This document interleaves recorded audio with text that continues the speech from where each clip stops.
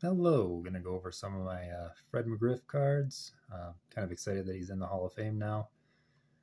Long time, long time coming. Um, but yeah, it's also 30 years this week since he was traded to the Braves. So I'm gonna just basically show some Braves cards. Always like that one of uh, him and Mark Lemke. And the SP set, which I always still love. Fleer. I'm going to try to go through these kind of quick. Don't really want it to be too long of a video. So the score. Nice SP with the, the die cuts. Always really enjoyed that electric diamond. It's got a nice nice shine on it. Nice picture of Mickey Mantle in the back.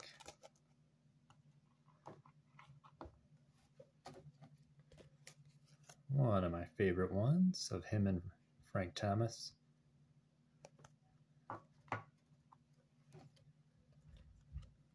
Another nice die cut.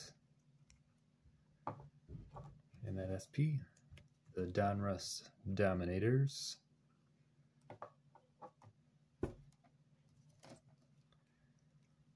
I really like the Fleer Flair. I know they were kind of, again, just like everything, very highly produced, but just uh, those thicker cards were kind of nice.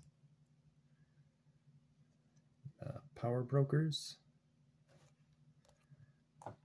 And some of the ones that I've just had graded just because they're ones I really liked. Electric Diamond within there.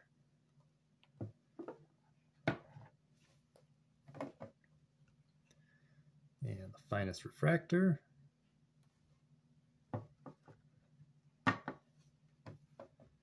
My favorite year of the finest.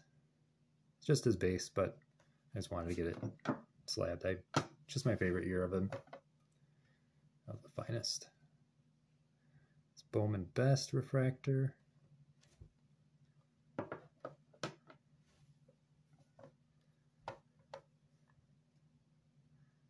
The 96.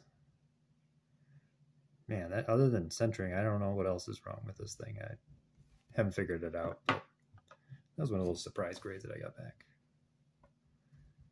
The other 96. And last but not least, my favorite card with him in it. Him with Ron Gant and David Justice. Just a great uh, power trio.